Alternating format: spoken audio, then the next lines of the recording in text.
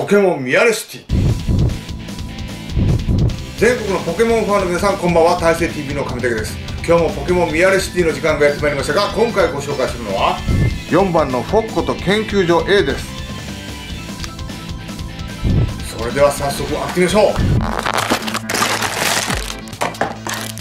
う。美味しいラムネ付きです。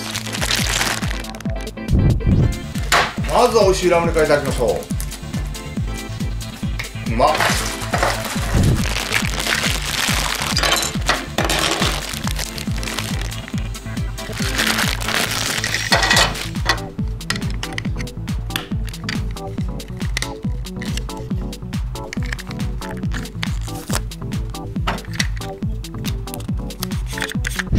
完成しました。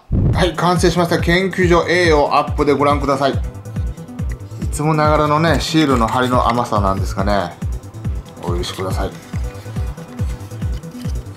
このスイッチを押すことによってこのレバーがこれを押し上げてるんですね。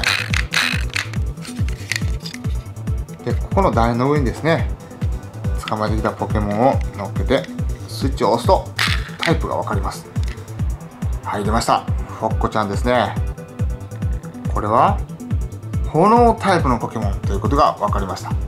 モニター画面でポケモンチェックだ。と字が小さすぎる。ポケモンミアレシティ。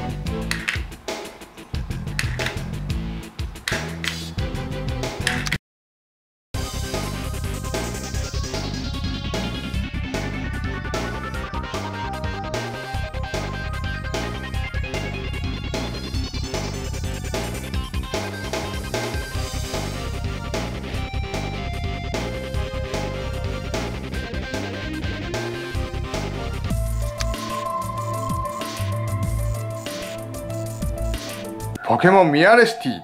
新種のポケモンをね発見した時なんかねここに載せてねチェックしてみたらいいんじゃないでしょうか。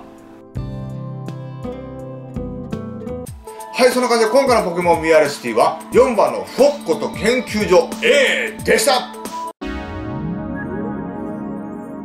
大成 TV 大成 TV 登録してね